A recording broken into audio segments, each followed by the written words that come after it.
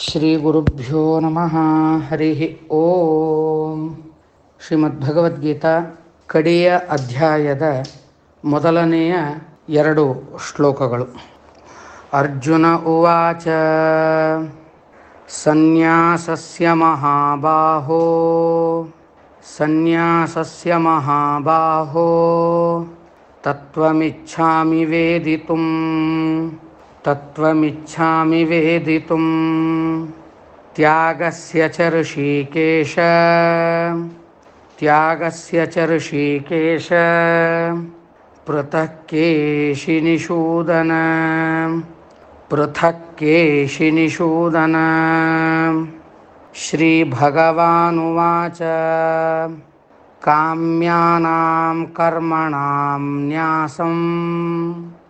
ಕರ್ಮಣಾಂ ನ್ಯಾಸಂ ಕಾಮ್ಯಾನಾಂ ಕರ್ಮಣಾಂ ನ್ಯಾಸಂ ಸನ್ಯಾಸಂ ಕವಯೋ ವಿದುಃ ಸನ್ಯಾಸಂ ಕವಯೋ ವಿದುಃ ಸರ್ವಕರ್ಮಫಲತ್ಯಾಗಂ ಸರ್ವಕರ್ಮಫಲತ್ಯಾಗಂ ಪ್ರಾಹುಸ್ತ್ಯಾಗಂ ವಿಚಕ್ಷಣಾಃ ಪ್ರಾಹುಸ್ತ್ಯಾಗಂ ವಿಚಕ್ಷಣಾಃ ಅರ್ಜುನ ಉವಾಚ ಸನ್ಯಾಸಸ್ಯ ಮಹಾಬಾಹೋ ತತ್ವಮಿಚ್ಛಾಮಿ ವೇದಿತುಂ ತ್ಯಾಗಸ್ಯ ಚ ಋಷಿಕೇಶ ಪೃಥಕ್ ಕೇಶಿ ನಿಷೂದನ ಶ್ರೀಭಗವಾನುವಾಚ ಕಾಮ್ಯಾನಾಂ ಕರ್ಮಣಾಂ ನ್ಯಾಸಂ ಸನ್ಯಾಸಂ ಕವಯೋ ವಿದುಃ ಸರ್ವಕರ್ಮಫಲತ್ಯಾಗಂ ಪ್ರಾಹುಸ್ತ್ಯಾಗಂ ವಿಚಕ್ಷಣಾಹ ಕಡಿಯ ಅಧ್ಯಾಯದಲ್ಲಿ ಅರ್ಜುನನ ಪ್ರಶ್ನೆಯ ಮೂಲಕ ಇದು ಪ್ರಾರಂಭವಾಗ್ತದೆ. ಹೇ ಮಹಾಬಾಹೋ, ಹೇ ಕೇಶನಿಶೂಧನ ಹೇ ಋಷಿಕೇಶ, ಮಹಾಪರಾಕ್ರಮವುಳ್ಳಂತಹ ಕೇಶಿ ಎಂಬ ದೈತ್ಯನನ್ನು ಸಂಹಾರ ಮಾಡಿದಂತಹ ಹೃಷಿಕೇಶ ಅಂದರೆ ಸರ್ವೇಂದ್ರಿಯಗಳಿಗೆ ಸ್ವಾಮಿಯಾದ ಕೃಷ್ಣನೇ. ಸನ್ಯಾಸಸ್ಯ ಚ ತ್ಯಾಗಸ್ಯ ಪೃಥಕ್ ವೇದಿತು ಇಚ್ಛಾಮಿ. ಸನ್ಯಾಸಕ್ಕೂ ತ್ಯಾಗಕ್ಕೂ ವ್ಯತ್ಯಾಸ ಇದೆಯಾ? ಇದೆ ಅಂತಾದರೆ, ನಾವು ಯಾವುದಕ್ಕೆ ಸನ್ಯಾಸ ಅಂತ ಕರಿಬೇಕು, ಯಾವುದಕ್ಕೆ ತ್ಯಾಗ ಅಂತ ಕರಿಬೇಕು ಅನ್ನೋದನ್ನು ತಿಳಿಸಿಕೊಡ್ರಿ. ಸನ್ಯಾಸ ಅಂತ ಹೇಳಂತಂದ್ರೆ ನಮ್ಮ ತಲೆ ಒಳಗೆ ಬರುವಂಥದ್ದು ಶಾಟಿ ಗೀಟಿ ಉಟ್ಕೊಂಡವರು ಜನಿವಾರ ತೆಗೆದವರು ತಲೆ ಬೋಳಿಸ್ಕೊಂಡವರು. ಸರ್ವಸಂಗ ಪರಿತ್ಯಾಗವನ್ನು ಮಾಡಿದವರು ಸನ್ಯಾಸಿ ಅಂತ ನಾವು ಅಂದ್ಕೊಳ್ತೇವೆ ತ್ಯಾಗಿಗಳು ಅಂತೇಳಂತಂದರೆ ಅವರು ಸ್ವಾಮಿಗಳೇ ಆಗಬೇಕಂತಿಲ್ಲ, ಸನ್ಯಾಸವನ್ನು ಸ್ವೀಕಾರ ಮಾಡಿರಲೇಬೇಕು ಅಂತಿಲ್ಲ. ಗೃಹಸ್ಥರಾಗಿ ಇದ್ದೆಯೂ ಇದ್ದು ಅವರು ತ್ಯಾಗಿಗಳಾಗಬಹುದು. So there is a hairline difference between sanyasa and tyaga. ಇದು ಸ್ಪಷ್ಟವಾಗಿ ನಾವು ತಿಳ್ಕೊಳ್ಬೇಕು. ಅದಕ್ಕೆ ಭಗವಂತ ಉತ್ತರವನ್ನು ಕೊಡ್ತಾನೆ.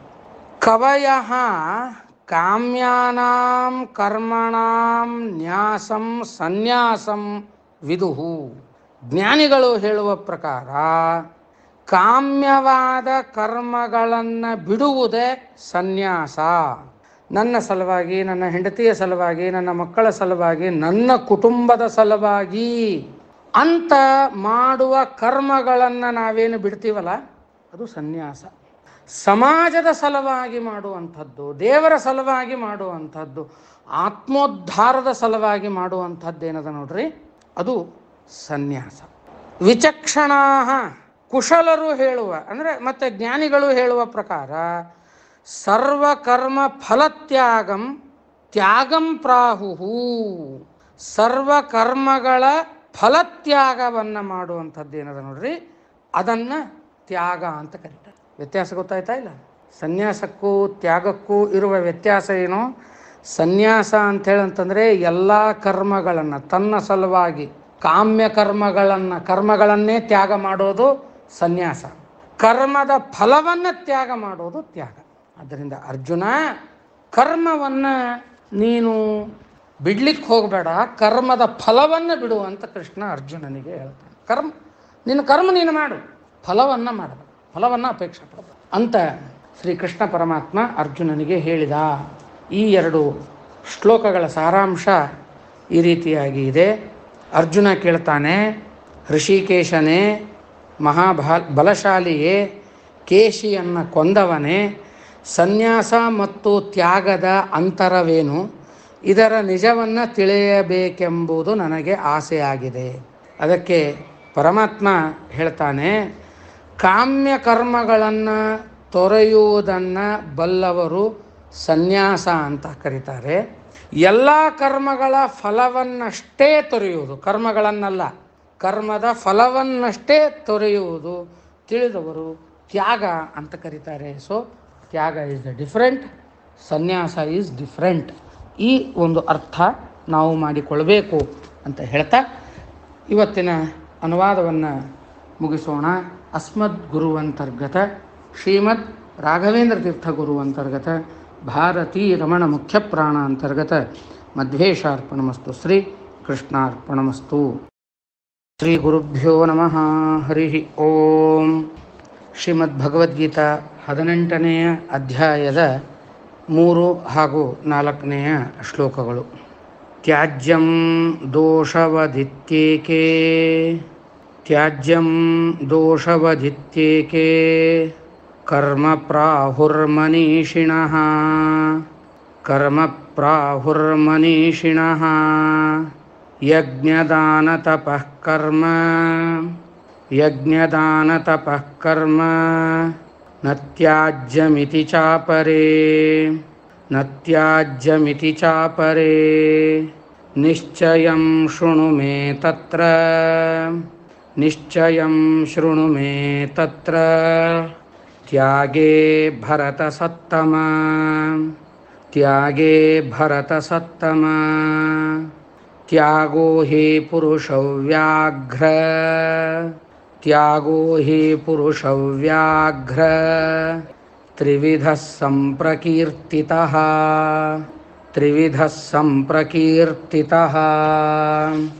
ತ್ರಿವಿಧಃ ಸಂಪ್ರಕೀರ್ತಿತಃ ತ್ಯಾಜ್ಯಂ ದೋಷವದಿತ್ಯೇಕೆ ಕರ್ಮ ಪ್ರಾಹುರ್ಮನೀಷಿಣಃ ಯಜ್ಞದಾನತಪಃ ಕರ್ಮ ನ ತ್ಯಾಜ್ಯಮಿತಿ ಚಾಪರೇ ನಿಶ್ಚಯಂ ಶೃಣು ಮೇ ತತ್ರ ತ್ಯಾಗೇ ಭರತಸತ್ತಮ ತ್ಯಾಗೋ ಹಿ ಪುರುಷವ್ಯಾಘ್ರ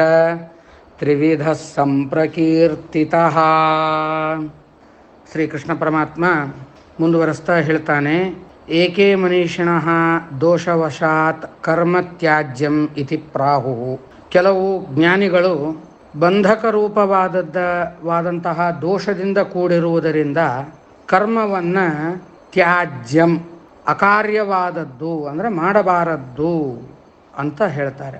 ಇನ್ನು ಕೆಲವರು ಅಪರೇ, ಕೆಲವು ಜ್ಞಾನಿಗಳು ಯಜ್ಞದಾನ ತಪಃ ಕರ್ಮ ನ ತ್ಯಾಜ್ಯಂ ಇತಿ ಪ್ರಾಹು ಯಜ್ಞ, ದಾನ, ತಪಸ್ಸು ಈ ರೂಪವಾದಂತಹ ಕರ್ಮ ಸಮುದಾಯವನ್ನು ಬಿಡಬಾರದು ಅಂತ ಹೇಳ್ತಾರೆ. ಈ ಎರಡು ದ್ವಂದ್ವದಲ್ಲಿ ಜನರು, ಭಕ್ತರು ಇರುವಾಗ ಕೃಷ್ಣನೇ ಆಜ್ಞೆಯನ್ನು ಕೊಡ್ತಾನೆ ಅರ್ಜುನನ ಮುಖಾಂತರವಾಗಿ. ನಾನು ಇದಕ್ಕೆ ನಿನಗೆ ನಿಶ್ಚಿತವಾದಂತಹ ಬುದ್ಧಿಯನ್ನು ಹೇಳ್ತೇನೆ ಕೇಳು. ನಿಶ್ಚಿತವಾಗಿ ಏನು ಮಾಡಬೇಕು? ಅನ್ನುವುದನ್ನು ಹೇಳ್ತೇನೆ ಕೇಳು. ಪುರುಷ ವ್ಯಾಘ್ರ, ಭರತ ಸತ್ತಮ, ಇವೆಲ್ಲ ಅರ್ಜುನನಿಗೆ ಕೃಷ್ಣ ಪ್ರೀತಿಯಿಂದ ಕರೆಯುವಂತಹ ಮಾತುಗಳು. ಪುರುಷ ಶ್ರೇಷ್ಠನಾದಂಥವನೇ, ಭರತ ಕುಲದಲ್ಲಿ ಶ್ರೇಷ್ಠನಾದ ಅರ್ಜುನನೇ, ತತ್ರ ತ್ಯಾಗೇ ನಿಶ್ಚಯಂ ಮೇ ಶೃಣು. ಆ ವಾದಗ್ರಸ್ತವಾದ ತ್ಯಾಗದ ವಿಷಯದಲ್ಲಿ, ಅಂದರೆ ತ್ಯಾಗ ಮಾಡಬೇಕೋ ಮಾಡಬಾರ್ದು ಅನ್ನುವ ವಿಷಯದಲ್ಲಿ ನಿಶ್ಚಯಂ, ನಿಶ್ಚಯವಾದ ಮಾತನ್ನ ಮೇ ನನ್ನಿಂದ ಶೃಣು ಕೇಳು. ತ್ಯಾಗ ತ್ರಿವಿಧ ಇತಿ ಹಿ ಸಂಪ್ರಕೀರ್ತಿತ. ಮುಂದೆ ನಾನು ಅದನ್ನು ಹೇಳೋನಿದ್ದೇನೆ ಆ ತ್ಯಾಗ ಏನಿದೆ? ಇದು ತ್ರಿವಿಧ, ಸಾತ್ವಿಕ, ರಾಜಸ, ತಾಮಸ. ಭೇದಗಳಿಂದ ಮೂರು ಪ್ರಕಾರವಾಗಿ ಇರುತ್ತದೆ ಎಂದು ಹೇಳಲ್ಪಟ್ಟಿದೆ. ಅದರಲ್ಲಿ ಸಾತ್ವಿಕ ತ್ಯಾಗವನ್ನು ನಾವು ಮಾಡಬೇಕು. ರಾಜಸ ತಾಮಸ ತ್ಯಾಗಗಳನ್ನು ಮಾಡಬಾರದು. ಹಾಗಾದರೆ ಅವುಗಳ ಪರಿಭಾಷೆ ಏನು? ಸಾತ್ವಿಕ ತ್ಯಾಗ ಯಾವುದು? ರಾಜಸ ತ್ಯಾಗ ಯಾವುದು? ತಾಮಸ ತ್ಯಾಗ ಯಾವುದು? ಅನ್ನುವುದನ್ನು ಶ್ರೀಕೃಷ್ಣ ಪರಮಾತ್ಮ ಮುಂದಿನ ಶ್ಲೋಕಗಳಲ್ಲಿ ಅವನು ಹೇಳೋನಿದ್ದಾನೆ ಈ ಎರಡು ಶ್ಲೋಕದ ಸಾರಾಂಶ ಈ ರೀತಿಯಾಗಿ ಇದೆ.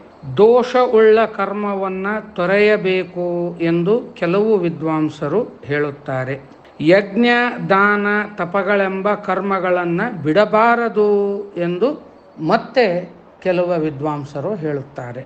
ಭರತ ವಂಶದ ಮುಂದಾಳೆ, ಅದರಲ್ಲಿ ತ್ಯಾಗದ ಬಗ್ಗೆ ನನ್ನ ನಿರ್ಧಾರ ಕೇಳು, ನಾನೇನು ನಿರ್ಧಾರ ಮಾಡೀನಿ, ಅದನ್ನು ನೀನು ಕೇಳು. ಮೂರು ಬಗೆಯ ತ್ಯಾಗ ಉಕ್ತವಾಗಿದೆ. ಸಾತ್ವಿಕ, ರಾಜಸ, ತಾಮಸ ತ್ಯಾಗಗಳಿವೆ.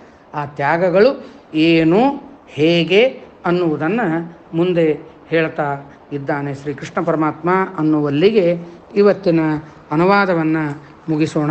ಅಸ್ಮದ್ಗುರು ಅಂತರ್ಗತ ಶ್ರೀಮದ್ ರಾಘವೇಂದ್ರ ತೀರ್ಥ ಗುರು ಅಂತರ್ಗತ ಭಾರತೀ ರಮಣ ಮುಖ್ಯಪ್ರಾಣ ಅಂತರ್ಗತ, ಮಧ್ವೇಶಾರ್ಪಣಮಸ್ತು, ಶ್ರೀ ಕೃಷ್ಣಾರ್ಪಣಮಸ್ತು. ಶ್ರೀ ಗುರುಭ್ಯೋ ನಮಃ. ಹರಿ ಓಂ. ಶ್ರೀಮದ್ ಭಗವದ್ಗೀತಾ ಹದಿನೆಂಟನೆಯ ಅಧ್ಯಾಯದ ಐದು ಹಾಗೂ ಆರನೆಯ ಶ್ಲೋಕಗಳು.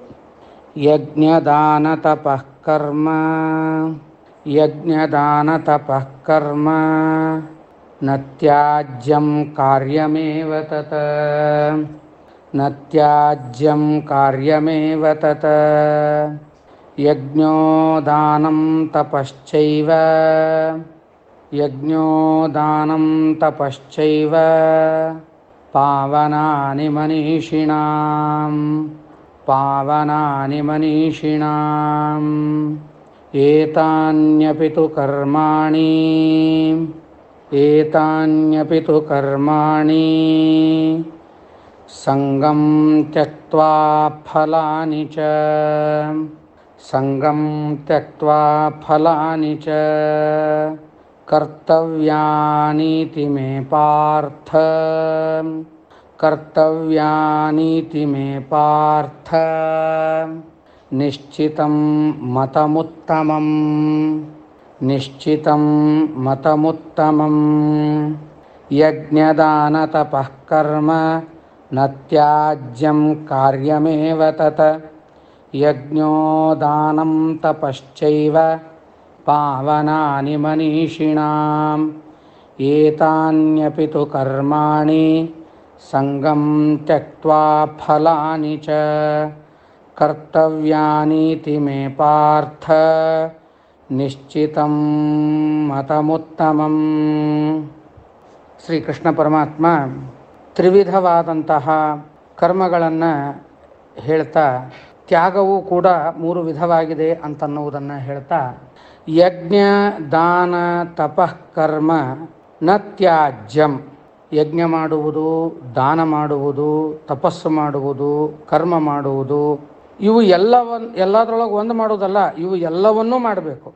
ನ ತ್ಯಾಜ್ಯಂ, ಇದರೊಳಗೆ ಯಾವುದನ್ನೂ ಬಿಡು ಹಂಗಿಲ್ಲ ನಾ ದಾನ ಮಾಡ್ತೀನಿ, ಹೀಗಾಗಿ ಯಜ್ಞ ಮಾಡೋದಿಲ್ಲ ಅಂತ ಅನ್ನುವಂಗಿಲ್ಲ ನಾನು ತಪಸ್ಸು ಮಾಡ್ತೀನಿ, ಹೀಗಾಗಿ ದಾನ ಮಾಡೋಂಗಿಲ್ಲ ಅಂತ, ಮಾಡೋದಿಲ್ಲ ಅಂತ ಅನ್ನೋಂಗಿಲ್ಲ ನಾನು ತಪಸ್ಸು ಮಾಡ್ತೀನಿ, ಹೀಗಾಗಿ ಕರ್ಮ ಮಾಡೋಂಗಿಲ್ಲ ಅಂತ ಅನ್ನೋಂಗಿಲ್ಲ ಇವು ಎಲ್ಲ ಕೂಡಿ ಮಾಡಬೇಕು, ಎಲ್ಲವನ್ನೂ ಮಾಡಬೇಕು.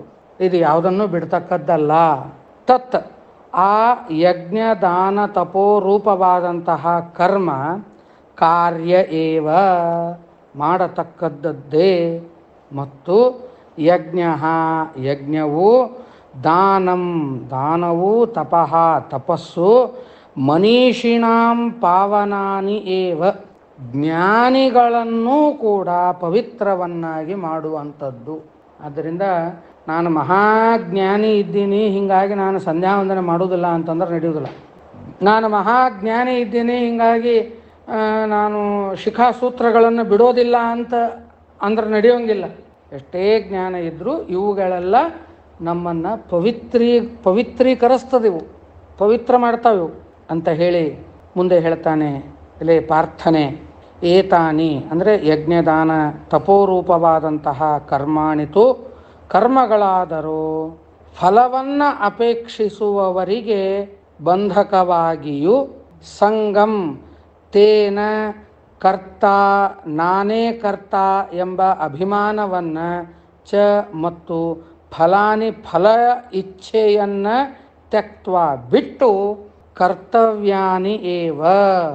ಮಾಡಲ್ಪಡತಕ್ಕವುಗಳೇ ಇತಿ ಎಂದು ಮೇ ನನ್ನ ನಿಶ್ಚಿತಂ ಉತ್ತಮಂ ಮತಂ. ನಿಶ್ಚಯಿಸಲ್ಪಟ್ಟ ಉತ್ತಮವಾದಂತಹ ಮತ. ಅಭಿಪ್ರಾಯ ಏನು? ಅಂದ್ರೆ ಇವನ್ನೆಲ್ಲ ಮತ್ತು ಕರ್ಮಗಳನ್ನು ಮಾಡಿದಂಗೆ ಆಯ್ತಲ್ರಿ ಕರ್ಮಗಳಿಂದ ನಮಗೆ ಬಂಧನ ಆಗ್ತದಲ್ಲ ಅಂತಂದ್ರೆ ನಾನು ಮಾಡ್ಲಿಕ್ಕತ್ತೀನಿ ಅಹಂಕಾರ ಬಂತು ಅಂತೇಳಿ ಅಂತಂದರೆ ಅದು ಬಂಧಕ. ನಾಹಂ ಪರಮಾತ್ಮ ಮಾಡಿಸಿದ ಅಂತ ಬಂತು ಅಂತಂದ್ರೆ ಅದು ಮೋಚಕ. ಈ ಎರಡು ಶ್ಲೋಕಗಳ ತಾತ್ಪರ್ಯವನ್ನು ತಿಳ್ಕೊಳ್ಳೋದು ಅಂತಂದರೆ ಯಜ್ಞ, ದಾನ, ತಪಗಳೆಂಬ ಕರ್ಮವನ್ನು ಬಿಡಲಾಗದು. ಅಂದರೆ ಬಿಡಬಾರದು. ಅದನ್ನು ಮಾಡಲೇಬೇಕು. ಯಜ್ಞ, ದಾನ ಮತ್ತು ತಪಸ್ಸು ಜ್ಞಾನಿಗಳನ್ನು ಪಾವನಗೊಳಿಸುವಂಥದ್ದು ಆದರೆ ಅರ್ಜುನ, ಈ ಕರ್ಮಗಳನ್ನು ಮಮತೆ ಮಮತೆ ಅಂದರೆ ಮಮ, ಮಮತೆ, ಅದು ನಂದು, ನಾನು ಮಾಡಿದ್ದು ಅನ್ನೋದು ಮಮತೆ. ಮಮತೆಯನ್ನು ತೊರೆದು ಫಲದ ಹಂಬಲ ತೊರೆದು ಮಾಡಬೇಕು ಎನ್ನುವುದು ನನ್ನ ಖಚಿತವಾದ ಮತ್ತು ಉತ್ತಮವಾದ ಆಶಯ. ಅಭಿಪ್ರಾಯವಾಗಿದೆ. ಆದ್ದರಿಂದ ಕರ್ಮಗಳನ್ನು ಪೂರ್ಣ ಬಿಡಬೇಕು ಅಂತನ್ನೋದು ಸರ್ವಥಾ ಅಭಿಪ್ರಾಯ ಅಲ್ಲ. ನಾನು ಮಾಡ್ತೀನಿ ಅಂತ ಅನ್ನದೇನೆ ಮಾಡಬೇಕು ಅಂತನ್ನುವುದು ಅರ್ಜುನನ, ಕೃಷ್ಣನ ಅಭಿಪ್ರಾಯ ಅಂತ ಹೇಳುವುದರ ಮೂಲಕ ಇವತ್ತಿನ ಅನುವಾದವನ್ನು ಮುಗಿಸೋಣ. ಅಸ್ಮದ್ ಗುರು ಅಂತರ್ಗತ, ಶ್ರೀಮದ್ ರಾಘವೇಂದ್ರ ತೀರ್ಥ ಗುರು ಅಂತರ್ಗತ ಭಾರತೀಯ ರಮಣ ಮುಖ್ಯ ಪ್ರಾಣ ಅಂತರ್ಗತ, ಮಧ್ವೇಶಾರ್ಪಣಮಸ್ತು ಶ್ರೀ ಕೃಷ್ಣಾರ್ಪಣಮಸ್ತು. ಗುರುಭ್ಯೋ ನಮಃ, ಹರಿ ಓಂ. ಶ್ರೀಮದ್ ಭಗವದ್ಗೀತಾ ಹದಿನೆಂಟನೆಯ ಅಧ್ಯಾಯದ ಏಳು ಹಾಗೂ ಎಂಟನೆಯ ಶ್ಲೋಕಗಳು. ನಿಯತಸ್ಯ ತು ಸನ್ಯಾಸಃ. ನಿಯತಸ್ಯ ತು ಸನ್ಯಾಸಃ ಕರ್ಮಣೋ ನೋಪಪದ್ಯತೆ ಕರ್ಮಣೋ ನೋಪಪದ್ಯತೆ ಮೋಹಾತ್ತಸ್ಯ ಪರಿತ್ಯಾಗಃ ಮೋಹಾತ್ತಸ್ಯ ಪರಿತ್ಯಾಗಃ ತಾಮಸಃ ಪರಿಕೀರ್ತಿತಃ ತಾಮಸಃ ಪರಿಕೀರ್ತಿತಃ दुःखमित्येव यत्कर्म। दुःखमित्येव यत्कर्म। कायक्लेशभयात्यजेत्। कायक्लेशभयात्यजेत्। सकृत्वा राजसं त्यागम्। सकृत्वा राजसं त्यागम्। नैव त्यागफलं लभेत्। नैव त्यागफलं लभेत्। नियतस्य तु सन्न्यासः, कर्मणो नोपपद्यते। मोहात्तस्य परित्यागः, तामसः परिकीर्तितः। दुःखमित्येव यत्कर्म कायक्लेशभयात् त्यजेत् सकृत्वा राजसं त्यागं नैव ತ್ಯಾಗಫಲಂ ಲಭೇತ್ ಶ್ರೀಮದ್ಭಗವದ್ಗೀತೆಯ ಈ ಎರಡು ಶ್ಲೋಕಗಳಲ್ಲಿ ಸಾತ್ವಿಕವಾದ ತ್ಯಾಗವನ್ನು ನಿನ್ನೆ ದಿವಸ ಹೇಳಿ, ರಾಜಸ ಹಾಗೂ ತಾಮಸ ತ್ಯಾಗಗಳ ಬಗ್ಗೆ ಹೇಳ್ತಾ ಇದ್ದಾರೆ. ಅದರಲ್ಲಿ, ನಿಯತಸ್ಯತು ಕರ್ಮಣ ಸನ್ಯಾಸ ನ ಉಪಪದ್ಯತೆ. ತಮ್ಮ ತಮ್ಮ ವರ್ಣಾಶ್ರಮಗಳಿಗೆ ವಿಹಿತವಾದ ಕರ್ಮದ ಬಿಡೋಣ, ಸನ್ಯಾಸ ಅಂತಂದ್ರೆ ಬಿಡೋಣ. ನ ಉಪಪದ್ಯತೆ ಕೂಡುವುದಿಲ್ಲ, ಅಂದರೆ ನರಕಾದ್ಯನರ್ಥ ಸಾಧನವಾಗುತ್ತದೆ. ಮೋಹಾತ್ ತಸ್ಯ ಪರಿತ್ಯಾಗ ತಾಮಸಃ ಎಂದು ಹೇಳಲ್ಪಡುತ್ತದೆ. ಅಂದರೆ ಭ್ರಮೆಯಿಂದ ನಿಯತವಾದ ಕರ್ಮವನ್ನು ಬಿಡೋದು ಇದು ತಾಮಸ. ಭ್ರಮೆಯಿಂದ ಬಿಡೋದು ಅಂತೇಳಂತಂದರೆ ಏನಾಗ್ತದೋ ಏನೋ, ಹೌದೋ ಅಲ್ಲೋ, ಗೊತ್ತಿಲ್ಲ, ಹೇಳ್ತಾರ ಅಂತ ಮಾಡೋದು. ಯಾವ ನೋಡಿ ಯಾವ ಉದ್ಧಾರ ಆಗ್ಯಾನ? ಅಂತ ಭ್ರಮೆಯನ್ನು ಇಟ್ಟುಕೊಂಡು ಆ ಭ್ರಮೆಯಿಂದ ಕರ್ಮವನ್ನು ಬಿಡೋದು ಏನದಲ್ಲ? ಇದು ತಾಮಸ ಅಂತ ಅಲ್ಲಿ ಹೇಳ್ತಾ ಇದ್ದಾರೆ. ಮುಂದೆ, ಕರ್ಮ ದುಃಖಂ ಇತಿ ಏವ, ಕರ್ಮವು ದುಃಖ ಸಾಧ್ಯವು ಅಂತ ತಿಳ್ಕೊಂಡು ದೇಹಕ್ಕೆ ಕಷ್ಟ ಉಂಟಾಗುತ್ತದೆ ಕಾಯಕ್ಲೇಶ ಭಯಾತ್ ದೇಹಕ್ಕೆ ಕಷ್ಟ ಉಂಟಾಗ್ತದೆ ಅಂತನ್ನುವ ಹೆದರಿಕೆಯಿಂದ ತ್ಯಜೇತ ತ್ಯಜೇತ, ಇತೀಯತ. ಬಿಡುವುದೆಂಬುದು ಯಾವುದು? ಸಹ ಕಾಯಕ್ಲೇಶದಿಂದ ಮಾಡಿದ ಆ ಕರ್ಮತ್ಯಾಗವು ರಾಜಸಃ ರಾಜಸತ್ಯಾಗವೆಂದು ಹೇಳಲ್ಪಡುತ್ತದೆ. ತಂ ಅಂತಹ ರಾಜಸಂ, ರಾಜಸವಾದ ತ್ಯಾಗಂ ತ್ಯಾಗವನ್ನು ಕೃತ್ವ ಮಾಡಿ ಸಹ ತ್ಯಾಗಫಲಂ ನ ಏವ ಲಭತೆ. ಪುರುಷನು ತ್ಯಾಗ ನಿಮಿತ್ತಕವಾದ ಫಲವನ್ನು, ಅಂದರೆ ತ್ಯಾಗ ಮಾಡಿದಂಗೆ ಆಗಿರ್ತದೆ, ಆದರೆ ತ್ಯಾಗದ ಫಲವನ್ನು ಅವನು ಎಂದಿಗೂ ಹೊಂದುವುದಿಲ್ಲ. ಈ ಎರಡು ಶ್ಲೋಕಗಳ ಸಾರಾಂಶ ಈ ರೀತಿಯಾಗಿ ಇದೆ. ಕರ್ಮಗಳ ವಿಹಿತವಾದ ಕರ್ಮಗಳನ್ನು ತೊರೆಯುವುದು ತರವಲ್ಲ. ಕರ್ಮಗಳ ನಿಂದ ಮಾಡೋದು, ಕರ್ಮಗಳ ನಿಂದ ಮಾಡೋದು. ಅರಿವಿಗೆಟ್ಟು ಅದನ್ನು ತೊರೆಯುವುದು, ಭ್ರಮೆಯಿಂದ ಅದನ್ನು ಕರ್ಮಗಳನ್ನು ನಿಂದ ಮಾಡಿ, ಇದನ್ನು ಮಾಡಿ ಆ ಉದ್ಧಾರ ಆಗ್ಯಾನ ಅಂತ ಅವುಗಳನ್ನು ಬೈದು, ಅವುಗಳನ್ನು ನಿಂದ ಮಾಡಿ, ಅವುಗಳಿಂದ ಹೊರಗೆ ಬರೋದೇನದ ನೋಡ್ರಿ? ಇದು ಕರ್ಮತ್ಯಾಗನೇ ಅಲ್ಲ, ಅದು ತಾಮಸ ತ್ಯಾಗ ಅಂತ ಅನ್ನಿಸ್ತದೆ. ಇನ್ನು ಮಾಡುವುದಕ್ಕೆ ಮೈ ಬಗ್ಗದೆ ಬಗೆಯೊಗ್ಗದೆ ಕಷ್ಟವಾಗುತ್ತದೆ ಎಂದು ಮಾಡದೇ ಇರುವುದು ರಾಜಸ ತ್ಯಾಗ ಇಂತಹ ತ್ಯಾಗ ಮಾಡಿಯೂ ತ್ಯಾಗದ ಫಲ ನಮಗೆ ಸಿಗೋದಿಲ್ಲ ಅಂತನ್ನುವ ಮಾತನ್ನು ಹೇಳ್ತಾ, ಹಾಗಾದರೆ ಸಾತ್ವಿಕವಾದ ತ್ಯಾಗ ಯಾವುದು ಅನ್ನುವುದರ ವಿಚಾರವನ್ನು ನಾವು ನಾಳಿನ ದಿವಸ ತಿಳಿಯೋಣ ಅಂತ ಹೇಳ್ತಾ ಇವತ್ತಿನ ಅನುವಾದವನ್ನು ಮುಗಿಸೋಣ. ಅಸ್ಮದ್ಗುರು ಅಂತರ್ಗತ ಶ್ರೀಮದ್ ರಾಘವೇಂದ್ರ ತೀರ್ಥ ಗುರು ಅಂತರ್ಗತ ಭಾರತೀಯ ರಮಣ ಮುಖ್ಯ ಪ್ರಾಣ ಅಂತರ್ಗತ, ಮಧ್ವೇಶ ಅರ್ಪಣಮಸ್ತು, ಶ್ರೀ ಕೃಷ್ಣಾರ್ಪಣಮಸ್ತು. ಶ್ರೀ ಗುರುಭ್ಯೋ ನಮಃ, ಹರಿ ಓಂ. ಶ್ರೀಮದ್ ಭಗವದ್ಗೀತಾ ಹದಿನೆಂಟನೆಯ ಅಧ್ಯಾಯದ ಒಂಬತ್ತು ಹಾಗೂ ಹತ್ತನೆಯ ಶ್ಲೋಕಗಳು. कार्यमित्येव यत्कर्म। कार्यमित्येव यत्कर्म। नियतं क्रियतेऽर्जुन। नियतं क्रियतेऽर्जुन। सङ्गं त्यक्त्वा फलं चैव। सङ्गं त्यक्त्वा फलं चैव। सत्यागः सात्विको मतः। सत्यागः सात्त्विको मतः न द्वेष्ट्यकुशलं कर्म न द्वेष्ट्यकुशलं कर्म कुशले नानुषज्यते।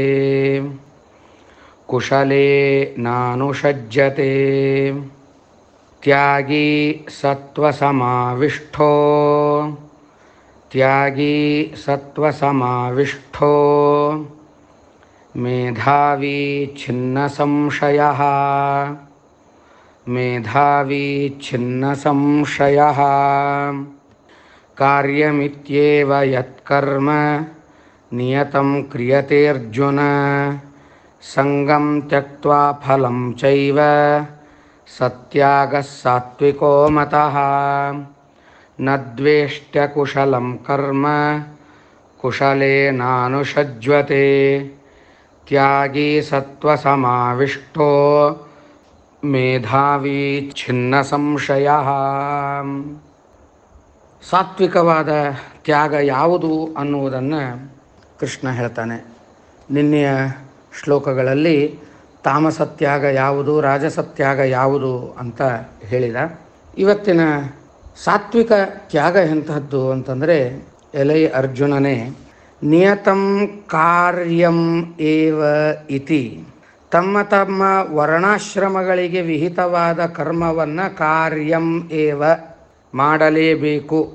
ಬ್ರಾಹ್ಮಣ, ಕ್ಷತ್ರಿಯ, ವೈಶ್ಯ ಇವರೆಲ್ಲರೂ ತಮ್ಮ ತಮ್ಮ ವರ್ಣಾಶ್ರಮಗಳಿಗೆ ಅನುಗುಣವಾಗಿ ಇದು ನನ್ನ ಕರ್ತವ್ಯ, ನಾನು ಕ್ಷತ್ರಿಯನಾಗಿ ಹುಟ್ಟಿದ್ದರಿಂದ ನಾನು ಈ ಕೆಲಸವನ್ನು ಮಾಡಬೇಕು, ನಾನು ಬ್ರಾಹ್ಮಣನಾಗಿ ಹುಟ್ಟಿದ್ದರಿಂದ ನಾನು ಈ ಕೆಲಸವನ್ನು ಮಾಡಬೇಕು ಅಂತ ತಿಳಿದುಕೊಂಡು ಮಾಡಲೇಬೇಕು ಇತಿ ಎಂದು ಸಂಗಂ.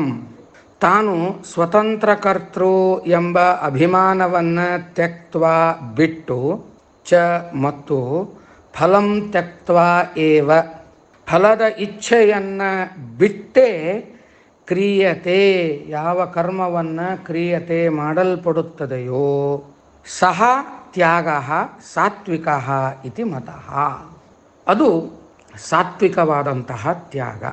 ತಮ್ಮ ವರ್ಣಾಶ್ರಮಗಳಿಗೆ ಉಚಿತವಾದಂತಹ ಕರ್ಮವನ್ನು ಮಾಡುವುದರ ಜೊತೆಗೆ ಫಲತ್ಯಾಗವನ್ನು ಮಾಡ್ತೀವಲ್ಲ. ನನ್ನ ಕರ್ತವ್ಯ ರೀ ಇದು. ನಾನು ಬ್ರಾಹ್ಮಣನಾಗಿ ಹುಟ್ಟಿದ್ದಕ್ಕೆ ನಾನು ಹಿಂಗೆ ಮಾಡಬೇಕಾದದ್ದು ನನ್ನ ಕರ್ತವ್ಯ.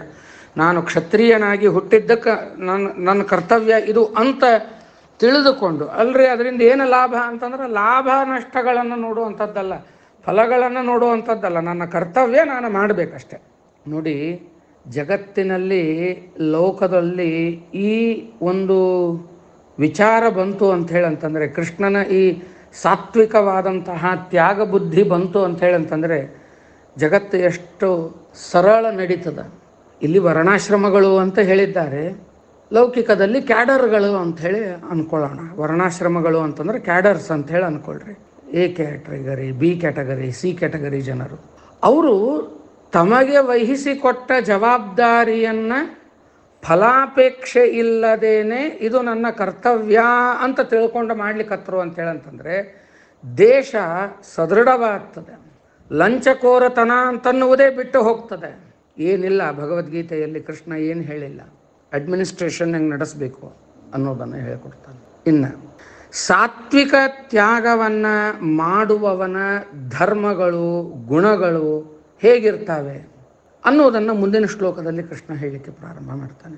ಯಹ ಯಾವಾತನು ಅಕುಶಲಂ, ತತ್ಕಾಲದಲ್ಲಿ ಸುಖವನ್ನುಂಟು ಮಾಡದ, ಮಾಡದೆ ಕಷ್ಟವನ್ನು ಕೊಡುವ ಕರ್ಮ, ಕರ್ಮವನ್ನು ನ ದ್ವೇಷ್ಟಿ ದ್ವೇಷಿಸುವುದಿಲ್ಲವೋ? ಅಂದ್ರೆ ಹಿಂಗೆ ದೇವ್ರ ಹುಂಡಿಗೆ ಹೋಗಿ ರೊಕ್ಕ ಹಾಕಿದ ಕೂಡಲೇ ಇಮಿಡಿಯೇಟ್ ನನಗೆ ಅದು ಬಂದು ಬಿಡಬೇಕು. ಹಂಗಲ್ಲ. ಗುಡಿಗೆ ಹೋದಾಗ ಹುಂಡಿಗೆ ಹಾಕಬೇಕು, ಆಚಾರ ಕೈಯಾಗ ಕೊಡಬೇಕು, ಕೊಡಬೇಕಷ್ಟೇ. ಹಂಗೆ ಕೊಟ್ಟ ಕೂಡಲೇ ದೇವರಿಗೆ, ಬ್ರಾಹ್ಮಣರಿಗೆ ಕೊಟ್ಟದ್ದು ಅನಂತ ಮಡಿ ಮಾಡಿ ದೇವ್ರು ಕೊಡ್ತಾನೆ ಅಂತ ಅಂದ್ಕೊಳ್ಳಿ, ಅವ್ರು ಕೊಟ್ಟು ಹೊಚ್ಚಲ ದಾಟಿ ಬಂದ ಕೂಡಲೇ ಚಪ್ಪಲಿ ಹಾಕೊಳ್ಳೋ ಮುಂದೆ ಕಿಶೆ ನೋಡಿದ್ರೆ? ಅಲ್ಲದು. ಅದನ್ನು ಅಪೇಕ್ಷಾ ಪಡದೇನೆ ಕರ್ಮವನ್ನು ಮಾಡುವಂಥವನು. ಮಾಡ್ತಾನಂತ, ಹಂಗೆ ಸಾತ್ವಿಕ ತ್ಯಾಗವನ್ನು ಮಾಡುವವನು, ಹಂಗೆ ಮಾಡ್ತಾನಂತ. ನದ್ವೇಷ್ಟಿ, ದ್ವೇಷ ಮಾಡುವುದಿಲ್ಲ, ಕುಶಲೇ. ತತ್ಕಾಲದಲ್ಲಿ ಸುಖವನ್ನುಂಟು ಮಾಡುವ ಕರ್ಮದಲ್ಲಿ ನ ಅನುಷ್ವಜ್ ಅನುಷಜ್ಯತೆ ಆಸಕ್ತನಾಗುವುದಿಲ್ಲವೋ? ತ್ಯಾಗಿ. ಪರಮಾತ್ಮನಲ್ಲಿ ಸಮಸ್ತ ಕರ್ಮಗಳನ್ನು ಅರ್ಪಿಸುವವನು. ಸತ್ವ ಸಮಾವಿಷ್ಟ ಸತ್ವಗುಣಗಳಿಂದ ಕೂಡಿದವನು. ಮೇಧಾವಿ. ಭಗವತ್ ತತ್ವಜ್ಞಾನವನ್ನು ಉಳ್ಳವನು. ಛಿನ್ನ ಸಂಶಯ. ಪರಮಾತ್ಮನ ತತ್ವವು, ಜಗತ್ತತ್ವವು ಇವುಗಳ ವಿಷಯದಲ್ಲಿ ಸಂದೇಹವಿಲ್ಲದವನು. ಅಂದರೆ ದೇವರಿದ್ದಾನೋ ಇಲ್ಲೋ? ಹೇಳಿಕೆ ಥರ ಮಾಡೋಣಂತ. ಅಂತ ದೇವರ ಬಗ್ಗೆ ಸಂಶಯವನ್ನು ಪಡೆದೇನೆ ಯಾರು ಇರ್ತಾನೋ, ಸಹ ಅವನು ತ್ಯಾಗಿ ಸಾತ್ವಿಕ. ಅವನು ಸಾತ್ವಿಕನಾದಂತಹ ತ್ಯಾಗಿಯ ಆಗಿರ್ತಾನೆ, ಇವೆಲ್ಲವೂ ಅವನ ಗುಣಗಳೇ ಆಗಿರ್ತಾವೆ ಅಂತ ಹೇಳ್ತಾ ಈ ಎರಡು ಶ್ಲೋಕಗಳ ಸಾರಾಂಶ ಈ ರೀತಿಯಾಗಿದೆ. ಅರ್ಜುನ, ಕರ್ತವ್ಯ ದೃಷ್ಟಿಯಿಂದ ವಿಹಿತ ಕರ್ಮವನ್ನು ಮಾಡುತ್ತಲೇ ಮಮತೆಯನ್ನು, ಫಲದ ಹಂಬಲವನ್ನು ತೊರೆಯುವುದು ಸಾತ್ವಿಕ ತ್ಯಾಗ. ಮುದ ನೀಡದ ಕರ್ಮದ ಬಗ್ಗೆ ಹಗೆಯೂ ಇಲ್ಲ. ಮುದ ನೀಡುವ ಕರ್ಮದ ಬಗ್ಗೆ ಅತಿಯಾದ ನಂಟೂ ಇಲ್ಲ. ಇಂಥವನು ಸಾತ್ವಿಕ ತ್ಯಾಗಿ. ಅವನು ತಿಳಿದವನು ಮತ್ತು ಸಂದೇಹ ಒಳಿದವನು. ಅರ್ಥಾತ್ ಸಂದೇಹವನ್ನು ಪರಿಹಾರ ಮಾಡಿದವನು ಅನ್ನುವ ವಿಚಾರವನ್ನು ಶ್ರೀಕೃಷ್ಣ ಪರಮಾತ್ಮ ಅರ್ಜುನನಿಗೆ ಹೇಳಿದ ಅನ್ನುವಲ್ಲಿಗೆ ಇವತ್ತಿನ ಅನುವಾದವನ್ನು ಮುಗಿಸೋಣ. ಅಸ್ಮದ್ಗುರು ಅಂತರ್ಗತ ಶ್ರೀಮದ್ ರಾಘವೇಂದ್ರ ತೀರ್ಥಗುರು ಅಂತರ್ಗತ ಭಾರತೀ ರಮಣ ಮುಖ್ಯಪ್ರಾಣ ಅಂತರ್ಗತ, ಮಧ್ವೇಶಾರ್ಪಣಮಸ್ತು ಶ್ರೀ ಕೃಷ್ಣಾರ್ಪಣಮಸ್ತು ಶ್ರೀ ಗುರುಭ್ಯೋ ನಮಃ. ಹರಿ ಓಂ. ಶ್ರೀಮದ್ ಭಗವದ್ಗೀತಾ ಹದಿನೆಂಟನೆಯ ಅಧ್ಯಾಯದ ಹನ್ನೊಂದು ಹಾಗೂ ಹನ್ನೆರಡನೆಯ ಶ್ಲೋಕಗಳು. ನಹಿ ದೇಹಭೃತಾಂ ತ್ಯಕ್ತುಂ. ನಹಿ ದೇಹಭೃತಾಂ ತ್ಯಕ್ತುಂ. ಶಕ್ಯಂ ಕರ್ಮಣ್ಯಶೇಷತಃ. ಶಕ್ತಂ ಕರ್ಮಣ್ಯಶೇಷತಃ. यस्तु कर्म फल त्यागी यस्तु कर्म फल त्यागी सत्यागीत्यभिधीयते।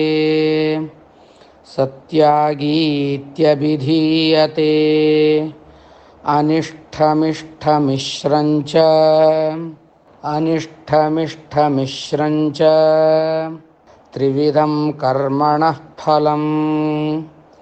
त्रिविधं कर्मणः फलं भगवत्यत्यागिनां प्रेत्य। भगवत्यत्यागिनां प्रेत्य। न तु सन्न्यासिनां क्वचित्। न तु सन्न्यासिनां क्वचित्। न हि देहभृतां त्यक्तुं शक्यं कर्मण्यशेषतः यस्तु कर्मफलत्यागी सत्यागीत्यभिधीयते अनिष्ठमिष्ठमिश्रञ्च त्रिविधं कर्मणः फलं ಭಗವತ್ಯಾಗಿನಾಂ ಪ್ರೇತ್ಯ ನ ತು ಸನ್ಯಾಸಿನಾಂ ಕ್ವಚಿತ್ ತ್ಯಾಗವನ್ನು ಮೂರು ವಿಧವಾಗಿ ವರ್ಣನೆ ಮಾಡಿದ ಶ್ರೀಕೃಷ್ಣ ಪರಮಾತ್ಮ. ಮುಂದೆ ಹೇಳ್ತಾನೆ, ದೇಹಭೃತಾಂ ಅಶೇಷತಃ ಕರ್ಮಣಿ ತ್ಯಕ್ತು ನ ಶಕ್ಯಂ. ಅಂದರೆ ದೇಹವನ್ನು ಧರಿಸಿದಂತಹ ಮನುಷ್ಯ ಸಮಸ್ತವಾದ ಕರ್ಮಗಳನ್ನು ಬಿಡುವುದಕ್ಕೆ ಯಾವ ಕಾರಣದಿಂದಲೂ ನ ಶಕ್ಯಂ. ಶಕ್ಯ ಇಲ್ಲ. ಕರ್ಮವನ್ನು ಮಾಡ್ಕೋತನೇ ಇರಬೇಕು. ಆ ಕರ್ಮ ಯಾವಾಗ ಬಿಡ್ಲಿಕ್ಕೆ ಆಗೋದಿಲ್ಲೋ ಅವಾಗ ಆ ಕರ್ಮ, ಕರ್ಮವನ್ನು ಬಿಡ್ಲಿಕ್ಕೆ ಆಗೋದಿಲ್ಲ ಅಂತಂದಾಗ ಕರ್ಮದ ಫಲವನ್ನು ಬಿಡುವ ಪ್ರಯತ್ನವನ್ನು ನಾವು ಮಾಡಬೇಕು. ಕರ್ಮ ಬಿಡೋದು ಬೇರೆ, ಕರ್ಮದ ಫಲವನ್ನು ಬಿಡೋದು ಬೇರೆ. ಫಲ ನಮ್ಮ ಕೈಯೊಳಗಿಲ್ಲ. ಕರ್ಮ ನಮ್ಮ ಕೈಯಾಗದ? ನಮ್ಮ ಕೈಯಾಗಿದ್ದದ್ದನ್ನು ಬಿಡ್ಲಿಕ್ಕೆ ಬರೋದಿಲ್ಲ. ಯಾವುದು ನಮ್ಮ ಕೈಯಾಗಿಲ್ಲ, ಅದನ್ನು ಅಪೇಕ್ಷೆ ಪಟ್ಟರೂ ಉಪಯೋಗ ಇಲ್ಲ. ಅದಕ್ಕೆ ಕೃಷ್ಣ ಹೇಳ್ತಾನೆ, ಆ ಕಾರಣದಿಂದ ಯಹ ಯಾವಾತನು ಕರ್ಮ ಫಲತ್ಯಾಗಿ ಕರ್ಮದ ಫಲವನ್ನು ಬಿಟ್ಟವನು, ಸಹ ತ್ಯಾಗಿ ಇತಿ ಅಭಿಧೀಯತೆ. ಅವನೇ ತ್ಯಾಗಿ. ಸೊ ಸಾತ್ವಿಕ, ರಾಜಸ, ತಾಮಸ ತ್ಯಾಗಗಳನ್ನು ಹೇಳಿ, ಸಾತ್ವಿಕವಾದ ತ್ಯಾಗ ಅಂತಂದರೆ ಕರ್ಮದ ಫಲವನ್ನು ಬಿಡೋದು ಅಂತ ಹೇಳಿ, ಆ ಕರ್ಮದ ಫಲವ ಬಿಡೋದೇ ಅನಿವಾರ್ಯ. ಬೇರೆ ಯಾವುದೂ ಮಾಡಲಿಕ್ಕೆ ಆಗೋದಿಲ್ಲ ನಮಗೆ. ಆದ್ದರಿಂದ ಸಾತ್ವಿಕ ಫಲತ್ಯಾಗಿಗಳು ನಾವು ಆಗಬೇಕು ಅನ್ನುವ ವಿಚಾರವನ್ನು ಹೇಳಿದ ಶ್ರೀಕೃಷ್ಣ ಪರಮಾತ್ಮ, ಕರ್ಮದ ಫಲ ಏನದಲ್ಲ, ಇದು ಮೂರು ರೀತಿಯಾಗಿ ನಮಗೆ ಸಿಗುತ್ತದೆ. ಒಂದು ಇಷ್ಟಂ ಇಷ್ಟಂ ಅನಿ, ಮಿಶ್ರಂ. ಪ್ರೇತ್ಯ ನಿನ್ನೆ ನಾನು ಹೇಳಿದೆ. ಪ್ರೇತ ಪ್ರೇತ ಅಂತ ಯಾಕೆ ಕರಿತೇವೆ ಜೀವಕ್ಕೆ ಅಂತ ಹೇಳಂತಂದ್ರೆ ಮತ್ತೆ ಪುನಃ ಬರುವುದಿಲ್ಲ ಆದ್ದರಿಂದ ಅವನು ಪ್ರೇತ. ಪ್ರೇತ್ಯ ಸ್ಥಿತಾನ್ ಅಂದರೆ ಮೃತರಾಗಿ ಇರತಕ್ಕಂತಹ ಅತ್ಯಾಗಿನಾಂ ಅತ್ಯಾಗಿನಾಂ ಫಲದ ಇಚ್ಛೆಯನ್ನ ಬಿಡದಿರುವವರಿಗೆ ಕರ್ಮಣಃ ಕರ್ಮಗಳ ಅನಿಷ್ಠಂ, ಅನಿಷ್ಠ ಅಂತಂದ್ರೆ ನಮಗೆ ಬೇಡವಾದದ್ದು. ಅಂದರೆ ನರಕಾದಿ ರೂಪವಾದ ಇಷ್ಟಂ ಅಂತಂದರೆ ಬೇಕಾದದ್ದು. ಸ್ವರ್ಗಾದಿ ರೂಪವಾದ, ಚ ಮತ್ತು ಮಿಶ್ರಂ ಇಷ್ಟಂ ಅನಿಷ್ಟಂ ಮಿಶ್ರಂ. ಇಷ್ಟ ಅಂತಂದ್ರೆ ಸ್ವರ್ಗ, ಅನಿಷ್ಟ ಅಂದ್ರೆ ನರಕ, ಮಿಶ್ರ ಅಂತೇಳಿ ಅಂತಂದ್ರೆ ಎರಡೂ ಇರುವಂತಹ ಈ ಮನುಷ್ಯ ಜನ್ಮ, ಸಂಸಾರ. ಮನುಷ್ಯ ಜನ್ಮಾದಿ ರೂಪವಾದ ಏವಂ ತ್ರಿವಿಧಂ, ಹೀಗೆ ಮೂರು ವಿಧವಾಗಿ ಫಲಂ ಭವತಿ, ಫಲವು ಆಗುತ್ತದೆ. ಸನ್ಯಾಸೀನಾಂ ಅಂದ್ರೆ ಫಲ ಇಚ್ಛೆಯಿಂದ ಕಾಮ್ಯಕರ್ಮವನ್ನು ಮಾಡದಿರುವ ಜನರಿಗೆ ತತ್ ಆ ತ್ರಿವಿಧವಾದ ಫಲವು ಕ್ವಚಿತ್ ಯಾವ ಲೋಕದಲ್ಲಿಯೂ, ಅಂದರೆ ಈ ಲೋಕದಲ್ಲಿಯೂ ಪರಲೋಕದಲ್ಲಿ ಆಗಲಿ ನ ಆಗೋದಿಲ್ಲ. ಅಂದ್ರೆ ಒಟ್ಟಾರೆ ಅಭಿಪ್ರಾಯ ಏನು?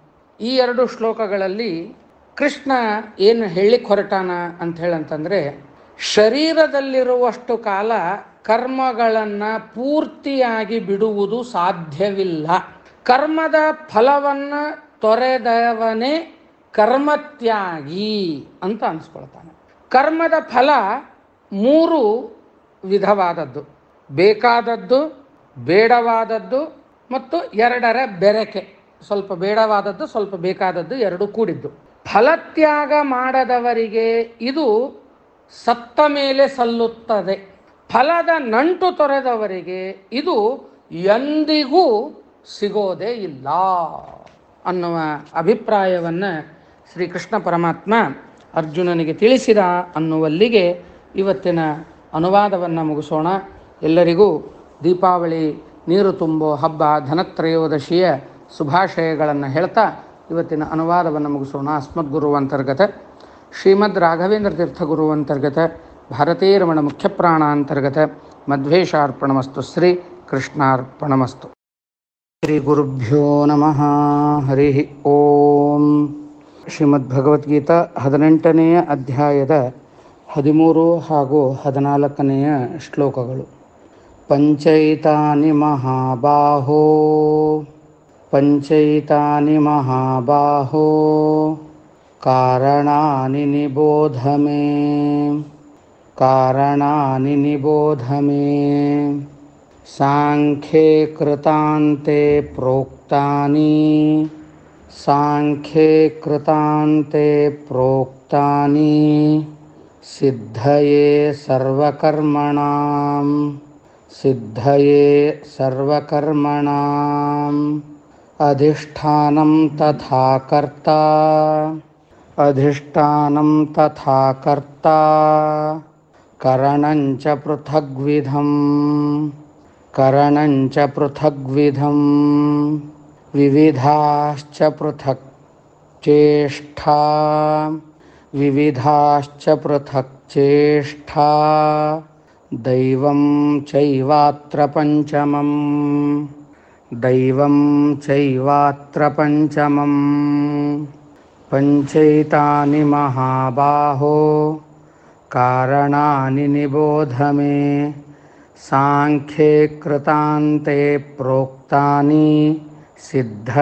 ಸರ್ವಕರ್ಮಣಾಂ ಅಧಿಷ್ಠಾನಂ ತಥಾ ಕರ್ತಾ ಕರಣಂಚ ಪೃಥಗ್ವಿಧಂ ವಿವಿಧಾಶ್ಚ ಪೃಥಕ್ ಚೇಷ್ಟಾ ದೈವಂ ಚೈವಾತ್ರ ಪಂಚಮಂ ಎಲೆ ಮಹಾಬಾಹೋ ಅರ್ಜುನನೇ ಸರ್ವಕರ್ಮಾಣಾಂ ಸಾಂಖ್ಯೇ ಕೃತಾಂತೆ ಪ್ರೋಕ್ತಾನಿ ಸಮಸ್ತ ಕರ್ಮಗಳ ಸಿದ್ಧಿಗೋಸ್ಕರ ಕಪಿಲನಾಮಕ ಪರಮಾತ್ಮನಿಂದ ಮಾಡಲ್ಪಟ್ಟ ಸಾಂಖ್ಯ ಎಂಬ ಹೆಸರುಳ್ಳ ಕೃತಾಂತೆ ಶಾಸ್ತ್ರದಲ್ಲಿ ಪ್ರೋಕ್ತಾನಿ ಹೇಳಲ್ಪಟ್ಟ ಏತಾನಿ ಇನ್ನು ಮುಂದೆ ಹೇಳುವಂತಹ ಪಂಚಕಾರಣಾನಿ ಮೇ ಸಕಾಶಾತ್ ನಿಬೋಧ. ಐದು ವಿಧಗಳಾದ ಕಾರಣವನ್ನು ನನ್ನ ಕಡೆಯಿಂದ ತಿಳಿದುಕೋ. ಆ ಐದು ಕಾರಣಗಳು ಯಾವುವು ಅನ್ನೋದನ್ನು ಕೃಷ್ಣ ಹೇಳ್ತಾ ಇದ್ದಾರೆ. ಮೊದಲನೆಯದ್ದು ಅಧಿಷ್ಠಾನಂ. ಅಧಿಷ್ಠಾನ ಅಂತ ಹೇಳಂತಂದರೆ ದೇಹ. ಅದಾದ ಮೇಲೆ ಕರ್ತ, ಜೀವ. ಮತ್ತು ಪೃಥಗ್ವಿಧಂ ನಾನಾ ವಿಧಗಳಾಗಿರ್ತಕ್ಕಂತಹ ಕರಣಂ, ಇಂದ್ರಿಯವು. ಸೃಕ್ ಸೃವ ಮೊದಲಾದಂತಹ ಸಾಧನಗಳು. ಚ ಮತ್ತು ವಿವಿಧಾ ಪೃಥಕ್ ಚೇಷ್ಟಾ ನಾನಾ ವಿಧಗಳಾದ ಪೃಥಕ್ ಪರಸ್ಪರ ಭಿನ್ನವಾದ ಚೇಷ್ಟಾ ಧ್ಯಾನಾದಿ ಕ್ರಿಯೆಗಳು. ಚ ಅತ್ರ ಏವ ಪಂಚಮಂ ದೈವಂ. ಈ ಕಾರಣಗಳ ಮಧ್ಯದಲ್ಲಿ ಐದನೆಯದ್ದು ದೈವಂ ಸ್ವತಃ ಪರಮಾತ್ಮನೇ. ಏನೇ ಆದರೂ ಕೂಡ ಈ ಐದು ನಿಮಿತ್ತಕವಾಗಿಯೇ ಆಗ್ತಾ ಇದ್ದಾವೆ. ಇದನ್ನು ಸಾಂಖ್ಯ ಯೋಗದಲ್ಲಿ ಕಪಿಲನಾಮಕನಾದ ಪರಮಾತ್ಮ ನಮಗೆ ತಿಳಿಸಿ ಕೊಟ್ಟಿದ್ದಾನೆ. ಏನೇ ಶುಭಾಶುಭಗಳ ಕರ್ಮಗಳು ಏನ ಆದರೂ ಕೂಡ ಈ ಐದರಿಂದಲೇ ಆಗ್ತದೆ ಅನ್ನುವ ಮಾತನ್ನು ಶ್ರೀಕೃಷ್ಣ ಪರಮಾತ್ಮ ಅರ್ಜುನನಿಗೆ ಹೇಳ್ತಾ ಇದ್ದಾನೆ. ಈ ಎರಡು ಶ್ಲೋಕಗಳ ಸಾರಾಂಶ ಈ ರೀತಿಯಾಗಿ ಹೇಳ್ತಾ ಇದ್ದಾರೆ. ಎಲ್ಲ ಕಾರ್ಯಗಳು ಕೈಗೂಡಲು ಐದು ಕಾರಣಗಳು. ವೈದಿಕ ಜ್ಞಾನದ ಸಿದ್ಧಾಂತದಲ್ಲಿ, ಅರ್ಥಾತ್ ಕಪಿಲನಾಮಕ ಪರಮಾತ್ಮನ ಸಾಂಖ್ಯ ಯೋಗದಲ್ಲಿ ಅವುಗಳು ಹೇಳಿದ್ದಾನೆ. ಅವುಗಳನ್ನು ನನ್ನಿಂದ ನೀನು ತಿಳಿದುಕೊ. ಯಾವುವು ಐದು? ಎಲ್ಲವುದಕ್ಕೂ ಕಾರಣವಾದದ್ದು ಐದು ಯಾವುದು ಅಂತಂದರೆ ಮೊದಲನೆಯದ್ದು ಈ ಶರೀರ, ಅಧಿಷ್ಠಾನಂ. ಕ್ರಿಯೆ ನಡೆಯುವಂತಹ ತಾಣ ಒಂದನೇದ್ದು ಎರಡನೇದ್ದು ಕ್ರಿಯೆ ಮಾಡುವಂತಹ ಜೀವ. ಮೂರನೇದ್ದು ಬೇರೆ ಬೇರೆ ಉಪಕರಣಗಳು. ನಾಲ್ಕನೇದ್ದು ಬಗೆ ಬಗೆಯ ಬೇರೆ ಬೇರೆ ಪೂರಕ ಕ್ರಿಯೆಗಳು. ಮತ್ತು ಐದನೆಯದ್ದೇ ಅದೃಷ್ಟ ಅರ್ಥಾತ್ ಭಗವಂತ. ಈ ಐದು ಕಾರಣಗಳಿಂದಲೇ ನಮ್ಮ ಜೀವನದಲ್ಲಿ ಎಲ್ಲ ವ್ಯಾಪಾರಗಳು ನಡೀತಾ ಇದ್ದಾವೆ. ಅದು ಹೇಗೆ ಅನ್ನೋದನ್ನು ಮತ್ತೆ ಪುನಃ ನಾಳಿನ ದಿವಸ ನೋಡೋಣ ಅಂತ ಹೇಳ್ತಾ ಎಲ್ಲರಿಗೂ ಪ್ಲವನಾಮ ಸಂವತ್ಸರದ ದೀಪಾವಳಿ ಹಬ್ಬದ ಶುಭಾಶಯಗಳನ್ನು ಹೇಳ್ತಾ ಇವತ್ತಿನ ಅನುವಾದವನ್ನು ಮುಗಿಸೋಣ. ಅಸ್ಮದ್ಗುರು ಅಂತರ್ಗತ, ಶ್ರೀಮದ್ ರಾಘವೇಂದ್ರ ತೀರ್ಥಗುರು ಅಂತರ್ಗತ, ಭಾರತೀರಮಣ ಮುಖ್ಯಪ್ರಾಣ ಅಂತರ್ಗತ, ಮಧ್ವೇಶಾರ್ಪಣಮಸ್ತು. ಶ್ರೀ ಕೃಷ್ಣಾರ್ಪಣಮಸ್ತು ಶ್ರೀ ಗುರುಭ್ಯೋ ನಮಃ. ಹರಿ ಓಂ. ಶ್ರೀಮದ್ ಭಗವದ್ಗೀತಾ ಹದಿನೆಂಟನೆಯ ಅಧ್ಯಾಯದ ಹದಿನೈದು ಹಾಗೂ ಹದಿನಾರನೆಯ ಶ್ಲೋಕಗಳು. ಶರೀರವಾಂಗ್ಮನೋಭಿರ್ಯತ್. ಶರೀರವಾಂಗ್ಮನೋಭಿರ್ಯತ್. ಕರ್ಮ ಪ್ರಾರಭತೆ ನರಃ. ಕರ್ಮ ಪ್ರಾರಭತೆ ನರಃ. न्यायं वा विपरीतं वा? न्यायं वा विपरीतं वा? पञ्चैते तस्य हेतवः। पञ्चैते तस्य हेतवः। तत्रैवं सति कर्तारं। तत्रैवं सति कर्तारम्। आत्मानं केवलं तु यः। ಆತ್ಮಾನಂ ಕೇವಲಂ ತು ಯಃ ಪಶ್ಯತ್ಯಕೃತಬುದ್ಧಿತ್ವಾತ್ ಪಶ್ಯತ್ಯಕೃತಬುದ್ಧಿತ್ವಾನ್ ಸ ನ ಪಶ್ಯತಿ ದುರ್ಮತಿಃ ಸ ನ ಪಶ್ಯತಿ ದುರ್ಮತಿಃ ಶರೀರವಾಂಗ್ಮನೋಭಿರ್ಯತ್ ಕರ್ಮ ಪ್ರಾರಭತೆ ನರಃ ನ್ಯಾಯಂ ವಾ ವಿಪರೀತಂ ವಾ ಪಂಚೈತೆ ತಸ್ಯ ಹೇತವಃ. ತತ್ರೈವಂ ಸತಿ ಕರ್ತಾರಂ. ಆತ್ಮಾನಂ ಕೇವಲಂ ಯಹ ಯಃ ಪಶ್ಯತ್ಯಕೃತಬುದ್ಧಿತ್ವಾತ್ನ ಸ ಪಶ್ಯತಿ ಈ ಐದು ಕಾರಣಗಳನ್ನು ಹೇಳಿದಂತಹ ಶ್ರೀಕೃಷ್ಣ ಪರಮಾತ್ಮ ಆಗುವ ಎಲ್ಲವುದಕ್ಕೂ ಕೂಡ ಇದೇ ಐದು ಕಾರಣ ಅಂತ ಹೇಳ್ತಾನೆ. ತತ್ರೈವಂ ಸತಿ ಕರ್ತಾರಂ ಯಹ ಯಾವ ಮನುಷ್ಯನು ತತ್ರ. ಆ ಕರ್ಮ ಕಾರಣಗಳು ಏವಂ ಸತಿ. ಅಧಿಷ್ಠಾನಾದಿ ಪಂಚಕವಿರಲು ಅಂದರೆ ಐದು. ಕೇವಲಂ ಆತ್ಮಾನಂತೂ ಅಂದರೆ ತನ್ನೊಬ್ಬನನ್ನು ಮಾತ್ರವೇ ಕರ್ತಾರಂ ಸ್ವತಂತ್ರ ಕರ್ತನಾಗಿ ಪಶ್ಯತಿ ತಿಳಿಯುತ್ತಾನೆಯೋ? ಸಹ ಅವನು ಅಕೃತ ಬುದ್ಧಿತ್ವಾತ್ ಶಾಸ್ತ್ರ ಶ್ರವಣಾದಿಗಳಿಂದ ಶುದ್ಧವಾದ ಬುದ್ಧಿ ಇಲ್ಲದವನಾದುದರಿಂದ ದುರ್ಮತಿ ಸನ್, ಅಂದರೆ ದುಷ್ಟಬುದ್ಧಿ ಉಳ್ಳವನಾಗಿ ನ ಪಶ್ಯತಿ ತತ್ವವನ್ನು ತಿಳಿದುಕೊಳ್ಳುವುದಿಲ್ಲ. ಯಾಕೆ? ಶರೀರ ನರಹ ಶರೀರ ವಾಂಗ್ಮನೋಭಿಹಿ ಮನುಷ್ಯ ಶರೀರ, ಮಾತು, ಮನಸ್ಸು ಇವುಗಳಿಂದ ನ್ಯಾಯಂವ ಶಾಸ್ತ್ರಕ್ಕೆ ಅನುಸಾರವಾಗಿ ಆಗಲಿ, ವಿಪರೀತಂ ವಾ, ಶಾಸ್ತ್ರಕ್ಕೆ ವಿರುದ್ಧವಾದುದಾಗಲಿ, ಯತ್ ಕರ್ಮ, ಯಾವ ಕರ್ಮವನ್ನು ಪ್ರಾರಭತೆ ಮಾಡುತ್ತಾನೆಯೋ, ತಸ್ಯ ಆ ಕರ್ಮಕ್ಕೆ ಏತೆ ಪಂಚಹೇತವಃ. ಇವು ಐದೇ ಕಾರಣಗಳು ಅನ್ನುವ ಮಾತನ್ನು ಶ್ರೀಕೃಷ್ಣ ಪರಮಾತ್ಮ ಹೇಳಿದ್ದಾನೆ. ಈ ಎರಡು ಶ್ಲೋಕಗಳ ತಾತ್ಪರ್ಯ ಈ ರೀತಿಯಾಗಿ ಇದೆ. ಅದು ಹೀಗಿರುತ್ತಾ, ಏನು ಮಾಡದ ತನ್ನನ್ನು ಮಾಡುವವನು ಎಂದು, ಅಂದರೆ ತಾನೊಬ್ಬನೇ ಎಲ್ಲ ಮಾಡಿದವನು ಎಂದು ತಿಳಿದವನು, ಬುದ್ಧಿಗೇಡಿ ಇದ್ದಾನೆ. ಆ ತಿಳಿಗೇಡಿಗೆ ಏನೂ ತಿಳಿದಿಲ್ಲ ಅಂತ ಅರ್ಥ. ಯಾರು ಎಲ್ಲನೂ ನಾನು ಮಾಡೀನಿ ಅಂತ ಹೇಳ್ತಾನೆ, ನನಗೆಲ್ಲ ಗೊತ್ತದ ಅಂತ ಹೇಳ್ತಾನೆ, ಅವನಿಗೆ ಏನೂ ಗೊತ್ತಿಲ್ಲ ಅಂಥೇಳಿ ಅರ್ಥ. ನಾನು ಮಾಡಿದೆ ಎಂಬ ಹಮ್ಮಿರದವನು, ಅಂದರೆ ಮೈ ಮಾತು ಮನಗಳಿಂದ ಮನುಷ್ಯನ ಯಾವ ಕೆಲಸ ಕೈಗೊಂಡರೂ ಅದು ಒಪ್ಪಿರಲಿ, ತಪ್ಪಿರಲಿ, ಇವು ಐದು ಅದಕ್ಕೆ ಕಾರಣಗಳು ಅಂಥೇಳಿ ತಿಳಿಬೇಕೆ ಹೊರತಾಗಿ ನಾನು ಮಾಡಿದೆ, ನನ್ನಿಂದಲೇ ಎಲ್ಲ ಆಯಿತು ಅಂತ ಸರ್ವಥಾ ತಿಳಿಯಬಾರದು ಅಂತ ಹೇಳ್ತಾ ಬಲಿ ಪ್ರತಿಪದ ದಿವಸ ಭಗವಂತ ವಾಮನನಾಗಿ ಅವತಾರವನ್ನು ಮಾಡಿ ಹೋದ ದ್ವಾದಶಿ, ಮಸಿರಿನ ವ್ರತ ಮುಗದ ಮೇಲೆ ಬರುವ ದ್ವಾದಶಿ ವಾಮನಾವತಾರ ಆದದ್ದು. ಇವತ್ತು ಬಲಿಯನ್ನು ಉದ್ಧಾರ ಮಾಡಿದಂತಹ ದಿವಸ. ಅವತ್ತಿನಿಂದ ಇವತ್ತಿನ ತನಕ ಬೆಳೆದ ಪರಮಾತ್ಮ. ಅದ್ಭುತವಾಗಿ ಬೆಳೆದು ಬಲಿಚಕ್ರವರ್ತಿ ತನ್ನನ್ನು ಸಂಪೂರ್ಣವಾಗಿ ಭಗವಂತನಿಗೆ ಸಮರ್ಪಿಸಿಕೊಂಡಾಗ ಆ ಬಲಿಚಕ್ರವರ್ತಿಯನ್ನು ಉದ್ಧಾರ ಮಾಡಿದ ಮಹಾನುಭಾವ, ತ್ರಿವಿಕ್ರಮ ರೂಪಿಯಾದಂತಹ ಪರಮಾತ್ಮ, ಶಾಸ್ತ್ರಗಳಲ್ಲಿ ಒಂದು ವಿಶೇಷತೆ ಅಂತಂದರೆ ಯಾರು ಸಾತ್ವಿಕವಾಗಿ ಸೋತವರಿದ್ದಾರೋ ಅವರಿಗೇನೆ ಅದು ಸಮರ್ಪಿತವಾಗ್ತದೆ. ಬಲಿ ಸಾತ್ವಿಕವಾಗಿ ತನ್ನನ್ನು ತಾನು ಸಮರ್ಪಿಸಿಕೊಂಡದ್ದರಿಂದಲೇ ಇವತ್ತಿನ ದಿವಸ ಬಲಿಚಕ್ರವರ್ತಿಯ ಹೆಸರಿನಿಂದಲೇ ಬಲಿಪಾಡ್ಯ ಅಂತ ಸಾಡೇತಿನಿ ಮುಹೂರ್ತಗಳಲ್ಲಿ ಒಂದು ಮುಹೂರ್ತವಾಗಿದೆ. ಈ ಸಾಡೇತಿನಿ ಮುಹೂರ್ತಗಳು ಆವಾಗ ಮಾಡಿದಂತಹ ಎಲ್ಲ ವಿಶೇಷ ಕರ್ಮಗಳು ಭಗವಂತನ ಅನುಗ್ರಹದಿಂದ ವಿಶಿಷ್ಟವಾದ ಫಲವನ್ನು ಪಡಿತವೆ. ಅಂತಹ ಸಾಡೇತಿನಿ ಮುಹೂರ್ತದ ಶುಭಾಶಯಗಳನ್ನು ನಿಮಗೆ ಹೇಳ್ತಾ ಇವತ್ತಿನ ಅನುವಾದವನ್ನು ಮುಗಿಸೋಣ. ಅಸ್ಮದ್ ಗುರು ಅಂತರ್ಗತ, ಶ್ರೀಮದ್ ರಾಘವೇಂದ್ರ ತೀರ್ಥ ಗುರು ಅಂತರ್ಗತ, ಭಾರತೀಯ ರಮಣ ಮುಖ್ಯಪ್ರಾಣ ಅಂತರ್ಗತ ನದ್ವೇಷಾರ್ಪಣಮಸ್ತು ಶ್ರೀ ಕೃಷ್ಣಾರ್ಪಣಮಸ್ತು. ಭ್ಯೋ ನಮಃ, ಹರಿ ಓಂ.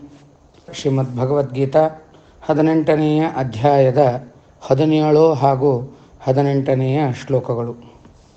ಯಸ್ಯ ನಾಹಂ ಕೃತೋ ಭಾವೋ ಯಸ್ಯ ನಾಹಂ ಕೃತೋ ಭಾವೋ ಬುದ್ಧಿರ್ಯಸ್ಯ ನ ಲಿಪ್ಯತೆ ಬುದ್ಧಿರ್ಯಸ್ಯ ನ ಲಿಪ್ಯತೆ ಹತ್ವಾಪಿ ಸ ಇಮಾನ್ ಲೋಕಾನ್ ಹತ್ವಾಪಿ ಸ ಇಮಾನ್ ಲೋಕಾನ್ನ ಹಂತಿ ನ ನಿಬಧ್ಯತೆ न हन्ति न निबध्यते।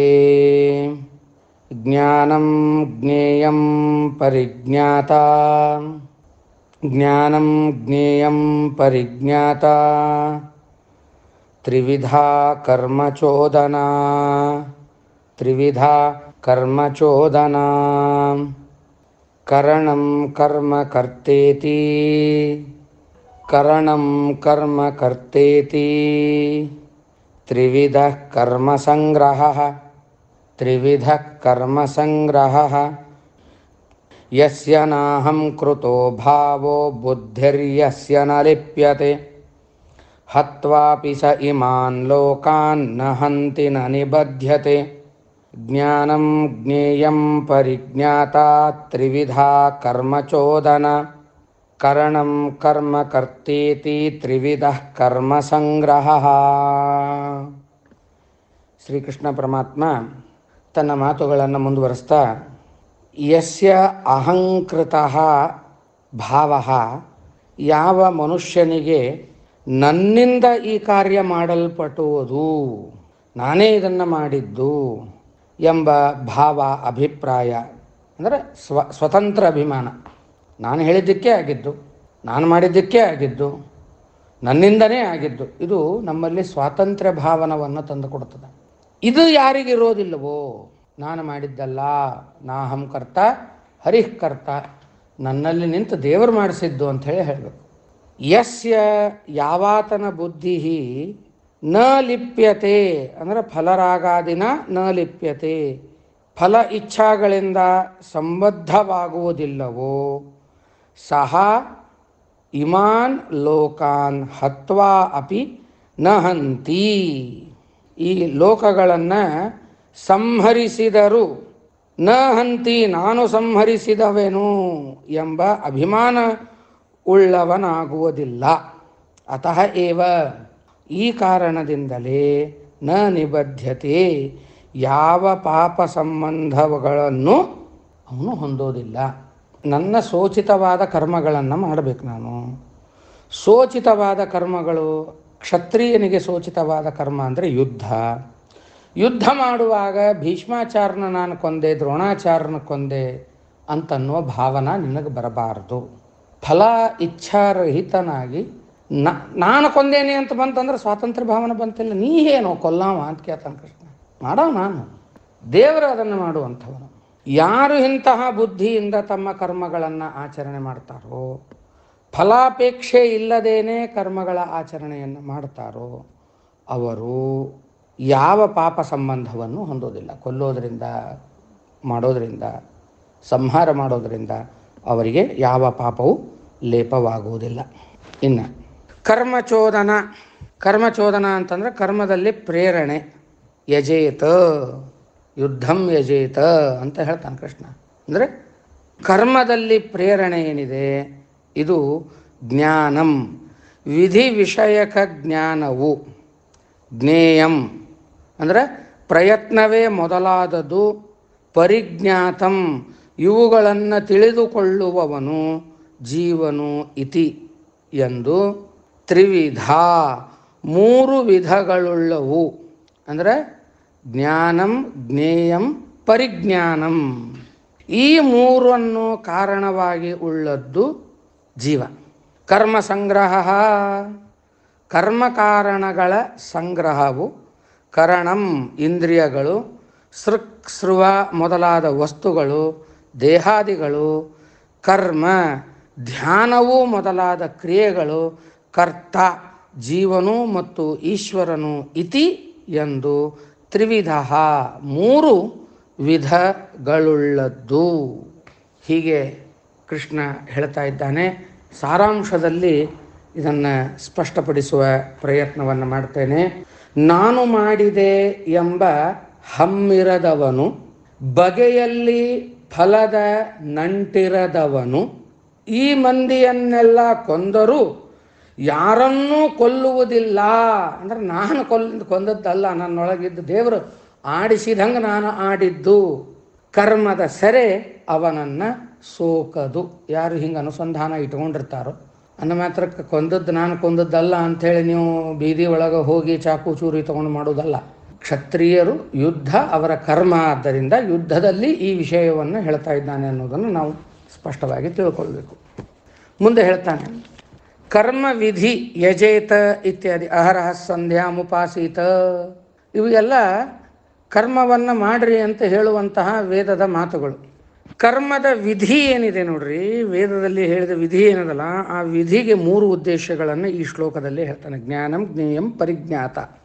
ಮಾಡಬೇಕೆಂಬ ಅರಿವು, ಇದು ಜ್ಞಾನ. ಅದಕ್ಕಾಗಿ ಅರಿಯಬೇಕಾದ ಕರ್ಮ, ಅದು ಜ್ಞೇಯ. ಕರ್ಮ ಫಲ ಮತ್ತು ಅರಿತು ಮಾಡುವವನು, ಇದು ಮೂರು ವಿಧಾನ. ಅದು ಪರಿಜ್ಞೇಯಂ, ಪರಿಜ್ಞಾತ. ಕರ್ಮಕ್ಕೆ ಕಾರಣವಾದ ಭಗವಂತನ ಪ್ರೇರಣೆ ಅವನ ಸ್ವರೂಪವೇ. ಹಂಗೆ ತಿಳ್ಕೊಳ್ಬೇಕು. ಆದುದರಿಂದ ಮುಮ್ಮುಖವಾದ ಅದು ಅರಿವಿನ ರೂಪ. ಎಲ್ಲರೂ ಅರಿಯಬೇಕಾದಂಥದ್ದು ಮತ್ತು ಎಲ್ಲವನ್ನೂ ಬಲ್ಲದ್ದು. ಕರ್ಮದ ಕಾರಣವೂ ಅಡಕವಾಗಿ ಮೂರು ತೆರೆ. ಯಾವ್ಯಾವವು? ಉಪಕರಣ, ಮಾಡುವಿಕೆ ಮತ್ತು ಮಾಡುವವನು. ಅಂದರೆ ಸೃಕ್ಷವಾದಿ ಇವೆಲ್ಲ ಉಪಕರಣ. ಹೋಮಕ್ಕೇನು ತುಪ್ಪ ಹಾಕ್ತೀವಲ್ಲ ಅದನ್ನು ಸೃಕ್ ಅಂತ ಹೇಳಿ ಕರಿತೀವಿ, ಇನ್ನೊಂದು ಸೃವ ಅಂತ ಕರಿತೀವಿ. ಇದು ಉಪಕರಣ. ಮಾಡುವಿಕೆ. ಅಂದ್ರೆ ಆ ಕರ್ಮವನ್ನು ನಾವೇನು ಮಾಡ್ತೀವಲ್ಲ, ಅದು. ಅದರ ಜೊತೆಗೆ ಮೂರು, ಮೂರನೇದವನೇ ಮಾಡುವವನು. ಜೀವ, ಜೀವಾಂತರ್ಯಾಮಿಯಾದ ಪರಮಾತ್ಮ ಅಂತಲೇ ತಿಳಿಯಬೇಕು ಅಂತ ಹೇಳ್ತಾ ಈ ಅನುವಾದವನ್ನು ಇವತ್ತಿಗೆ ಮುಗಿಸೋಣ. ಅಸ್ಮದ್ ಗುರುವಂತರ್ಗತ ಶ್ರೀಮದ್ ರಾಘವೇಂದ್ರ ತೀರ್ಥ ಗುರುವಂತರ್ಗತ ಭಾರತೀಯ ರಮಣ ಮುಖ್ಯ ಪ್ರಾಣಾಂತರ್ಗತ ಮಧ್ವೇಶಾರ್ಪಣಮಸ್ತು ಶ್ರೀ ಕೃಷ್ಣಾರ್ಪಣಮಸ್ತು ಶ್ರೀ ಗುರುಭ್ಯೋ ನಮಃ. ಹರಿ ಓಂ. ಶ್ರೀಮದ್ ಭಗವದ್ಗೀತಾ ಹದಿನೆಂಟನೆಯ ಅಧ್ಯಾಯದ ಹತ್ತೊಂಬತ್ತು ಹಾಗೂ ಇಪ್ಪತ್ತನೆಯ ಶ್ಲೋಕಗಳು. ಜ್ಞಾನಂ ಕರ್ಮ ಚ ಕರ್ತಾ ಚ. ಜ್ಞಾನಂ ಕರ್ಮ ಚ ಕರ್ತಾ ಚ. ತ್ರಿಧೈವ ಗುಣಭೇದತಃ. त्रिधैव गुणभेदतः प्रोच्यते गुणसङ्ख्याने। प्रोच्यते गुणसङ्ख्याने। यथावत् शृणुतान्यपि सर्वभूतेषु एनैकं सर्वभूतेषु एनैकं भावमव्ययमीक्षते। भावमव्ययमीक्षते। अविभक्तं विभक्तेषु। अविभक्तं विभक्तेषु। तज्ज्ञानं विद्धि सात्विकम्। तज्ज्ञानं विद्धि सात्विकं ज्ञानं कर्म च कर्ता च। त्रिविधै गुणभेदतः। प्रोच्यते गुणसङ्ख्याने यथावत् शृणुतान्यपि सर्वभूतेषु एनैकं भवामव्ययमीक्षते अविभक्तं विभक्तेषु ತಜ್ಞಾನಂ ವಿದ್ಧಿ ಸಾತ್ವಿಕಂ ಶ್ರೀಕೃಷ್ಣ ಪರಮಾತ್ಮ ಅರ್ಜುನನಿಗೆ ವಿಷಯಗಳನ್ನು ಹೇಳೋದನ್ನು ಮುಂದುವರೆಸ್ತಾ ಜ್ಞಾನಂ ಚ, ಕರ್ಮ ಚ, ಕರ್ತಾ ಚ. ಜ್ಞಾನ, ಕರ್ಮ, ಕರ್ತ. ಇವು ಪ್ರತ್ಯೇಕಂ. ಒಂದೊಂದೂ ಕೂಡ ಗುಣಭೇದತಃ. ಅಂದರೆ ಸತ್ವ, ರಜಸ್ತಮೋ, ಗುಣೋ, ಗುಣಭೇದದಿಂದ ತ್ರಿವಿಧ ಏವ ಮೂರು ವಿಧಗಳಾಗಿವೆ. ಜ್ಞಾನ ಮೂರು ವಿಧ, ಕರ್ಮ ಮೂರು ವಿಧ, ಕರ್ತ ಇದು ಮೂರು ವಿಧ. ಇತಿ ಎಂದು ಗುಣಸಂಖ್ಯಾನೆ ಗುಣಗಳನ್ನು ಹೇಳುವ ವೈದಿಕ ಸಾಂಖ್ಯಶಾಸ್ತ್ರದಲ್ಲಿ ಪ್ರೋಚ್ಯತೆ. ಹಿಂಗಂತೇಳಿ ಯಾರು ಹೇಳ್ತಾರ? ಸಾಂಖ್ಯಯೋಗದಲ್ಲಿ ಇದನ್ನೇ ಹೇಳಲ್ಪಟ್ಟಿದೆ. ತಾನಿ ಅಪಿ ಯಥಾವತ್ ಶೃಣು. ಆ ಭೇದಗಳನ್ನು ಕೂಡ ಅಲ್ಲಿ ಹೇಗೆ ಹೇಳಿದ್ದಾರೋ ಹಾಗೆ ನಿನಗೆ ಹೇಳ್ತೇನೆ. ಶೃಣು ಶೃಣು. ಅಂದ್ರೆ ಜ್ಞಾನದ ಮೂರು ವಿಚಾರಗಳನ್ನು ಹೇಳಿದರು. ಸಾತ್ವಿಕ ಜ್ಞಾನ, ರಾಜಸ ಜ್ಞಾನ, ತಾಮಸ ಜ್ಞಾನ. ಸಾತ್ವಿಕ ಜ್ಞಾನ ಅಂದರೆ ಏನು? ಅಂದರೆ ಅವಿಭಕ್ತೇಷು ಸರ್ವಭೂತೇಷು ಭಾವಂ ಏಕಂ ಅವಿಭಕ್ತಂ. ಅಂದ್ರೆ ಪರಸ್ಪರವಾಗಿ ಭಿನ್ನರಾದ ಸರ್ವಭೂತೇಷು ಸರ್ವ ಪ್ರಾಣಿಗಳಲ್ಲಿ ಭಾವಂ ಯಾವಾಗಲೂ ಇರುವ ಏಕಂ ಅವಿಭಕ್ತಂ. ಪ್ರಧಾನವಾದ, ಏಕಂ ಅಂತಂದ್ರೆ ಪ್ರಧಾನವಾದ. ಅನೇಕ ಪದಾರ್ಥಗಳಲ್ಲಿ ಇದ್ದರೂ ಅಧಿಷ್ಠಾನ ಭೇದ ನಿಮಿತ್ತ ಭೇದರಹಿತನಾದ. ಅವ್ಯಯಂ, ನಾಶರಹಿತನಾದ. ಪರಮಾತ್ಮಾನಂ, ಪರಮಾತ್ಮನನ್ನು ಏನ ಯಾವ ಜ್ಞಾನದಿಂದ ಈಕ್ಷತೆ ನೋಡುತ್ತಾನೆಯೋ ತಜ್ಞಾನಂ ಸಾತ್ವಿಕಂ ಇತಿ ವಿದ್ಧಿ.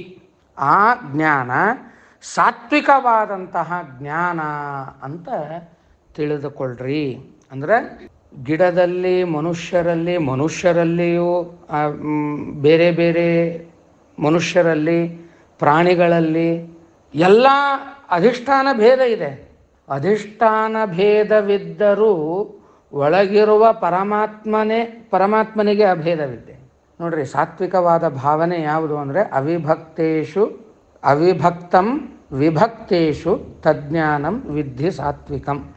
ವಿಭಕ್ತ, ಅವಿಭಕ್ತ ಅಂತನ್ನುವ ಮಾತುಗಳು ನಮಗೆ ಏನಿದ್ರು ಕುಟುಂಬಕ್ಕೆ ಸಂಬಂಧಪಟ್ಟದ್ದು ಅಂತ ತಿಳಿತೀವಿ.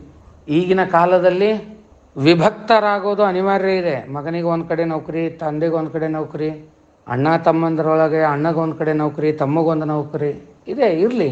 ಅದನ್ನೇ ಹೇಳಿದರು. ಅವಿಭಕ್ತಂ ಅವಿಭಕ್ತರಾಗಿದ್ದರೂ ಕೂಡ ವಿಭಕ್ತೇಶು ತಜ್ಞಾನಂ. ನಾವು ಬೇರೆ ಆದರೂ ಕೂಡ ನಮ್ಮ ಭಾವನೆ ಮಾತ್ರ ಒಂದೇ ಇರಬೇಕು. ಅಧಿಷ್ಠಾನಗಳು ಬೇರೆ ಆದರೂ ಕೂಡ ಅದರೊಳಗಿರುವ ಪರಮಾತ್ಮ ಒಬ್ಬನೇ ಹೇಗೆ ಇದ್ದಾನೋ ಅಂತ ತಿಳ್ಕೊಳ್ಳೋದು ಇದು ಸಾತ್ವಿಕವಾದಂತಹ ಜ್ಞಾನ. ಹಾಗೆಯೇ ನಾವು ಕೂಡ ಎಷ್ಟೇ ವಿಭಕ್ತರಾಗಿದ್ದರೂ ಕೂಡ ನಮ್ಮೊಳಗಿನ ಭಾವನಾ ಏನದ ಅದು ಅವಿಭಕ್ತವಾಗಿರಬೇಕು. ದೇಹ ವಿಭಕ್ತವಾಗಬಹುದು, ಭಾವನಾ ಇದು ಅವಿಭಕ್ತವಾಗಬಾರದು ಅನ್ನುವ ಮಾತನ್ನು ಶ್ರೀಕೃಷ್ಣ ಪರಮಾತ್ಮ ಅರ್ಜುನನಿಗೆ ಉಪದೇಶವನ್ನು ಮಾಡ್ತಾ ಇದ್ದಾನೆ.